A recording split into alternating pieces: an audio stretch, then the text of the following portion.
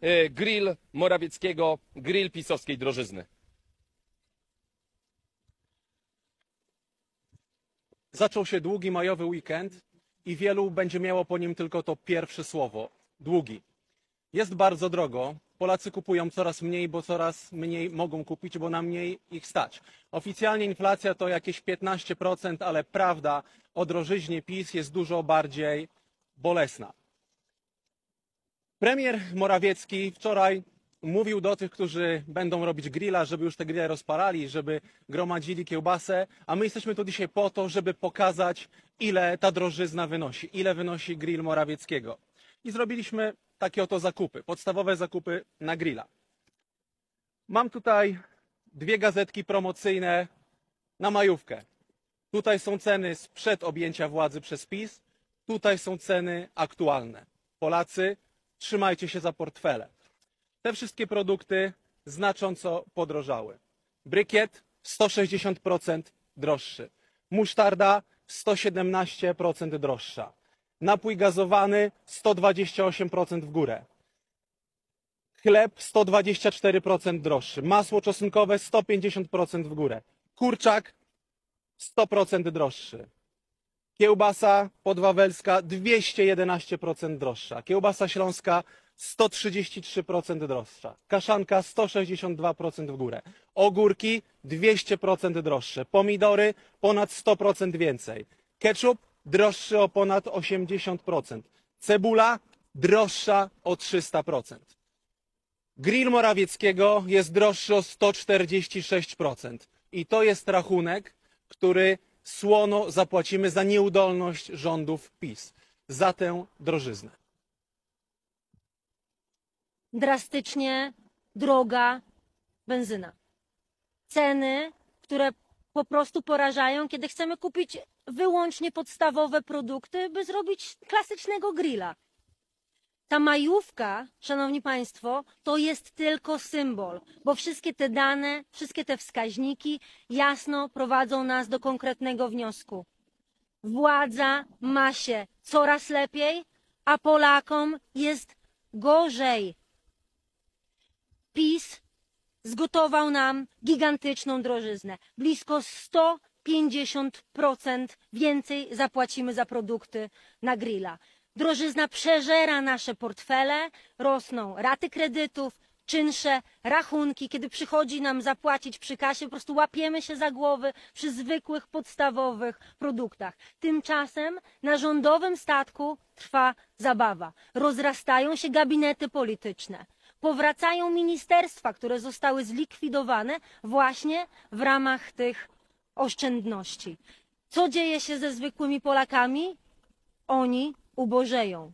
I są takie drastyczne dane, które przedstawił nam Polski Instytut, Instytut Pracy i Spraw Socjalnych, który wskazuje na to, że zmieniła się kwota w ramach tak zwanego minimum egzystencji a w ogóle nie zmieniają się kryteria pomocy społecznej. I co to dzisiaj oznacza?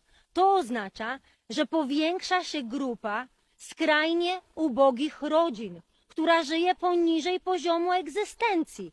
A dla tych ludzi, dla rządzących, oni są zbyt bogaci, by uzyskać jakąkolwiek pomoc od państwa. Na to samo wskazuje Stowarzyszenie Szlachetna paczka. Wskazują na to, że tylko w zeszłym roku liczba osób żyjąca w skrajnym ubóstwie zwiększyła się o 900 tysięcy osób. Co to znaczy? To znaczy, że dzisiaj blisko 2,5 miliona Polek i Polaków żyje w skrajnie, skrajnym ubóstwie. I to wszystko przez nieudolność tej władzy, która wypycha sobie kieszenie. Czy Państwo zdają sobie sprawę z tego, że nasz słynny jaszcząb który jest prezesem NBP, zarabia półtora raza więcej niżeli amerykański prezes Banku Centralnego. Nam się to po prostu nie mieści w głowie, a Morawieckiemu i jego kolegom to się po prostu nie mieści w portfelach. My chcemy powiedzieć, że władzy jest lepiej, a Polakom jest coraz gorzej. I pan Morawiecki zamiast wychodzić i nagrywać filmiki i mówić, że Polak, Polkom i Polakom jest tak dobrze i mogą spokojnie jechać na majówkę, powinien powiedzieć Polakom, że pomoże im przeżyć, bo bardzo duża część Polek i Polaków, blisko 70%, nie pojedzie na majówkę, zrezygnuje z majówki, bo nie może o niej nawet marzyć. Ludzie żyjący w skrajnym ubóstwie nie mogą nawet marzyć o porządnym, ciepłym obiedzie. A co dopiero o takich luksusach, których, które zgotowała nam władza pisowska. Szanowni Państwo, ta liczba myślę, że jest warta zapamiętania. E, Grill Morawieckiego 146% więcej zapłacimy za wszystko od e, czasów, gdy PiS zaczął władzę w naszym kraju. Myślę, że właśnie podczas tych e, spotkań rodzinnych e, z przyjaciółmi właśnie Polacy będą dyskutować na temat tej pisowskiej drożyzny. Jeśli są jakieś, e, jakieś pytania, jesteśmy do Państwa dyspozycji.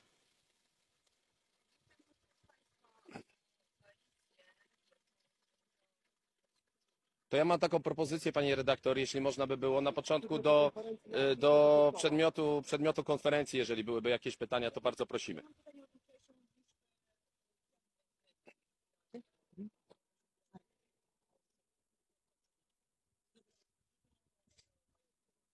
No to tylko oznacza, że Orlen drenuje portfele Polaków, bo jeżeli taka sytuacja jest, że może obniżać te ceny, to mógł to zrobić dużo szybciej.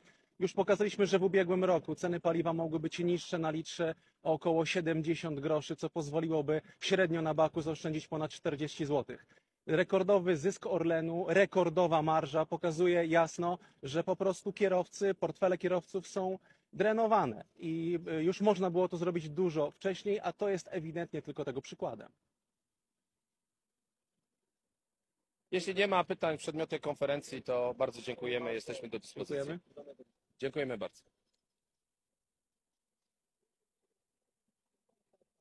Tak, tak, tak, tak, zrobimy, zrobimy.